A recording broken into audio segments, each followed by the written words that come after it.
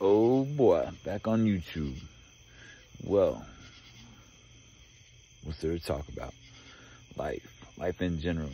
I don't know how a lot of people are doing out there, but if you don't stay strong in this world, if you don't collect your thoughts, if you don't keep your heart protected from people who try to hurt you, who try to violate you, you will be subject to their wrath.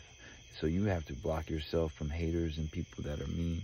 You have to be responsive with love and dignity and truth and peace and goodness. You have to follow your heart when it is led by something bigger than you and yourself.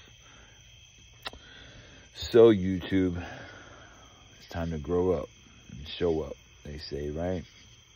Some people can't do that. They'll fail you. They'll leave you alone and they just don't care. And I tell you that because people ought to care about people. People shouldn't just make up stuff and treat people bad. It's not right. So, lesson number four tonight. Be more, people. Be more.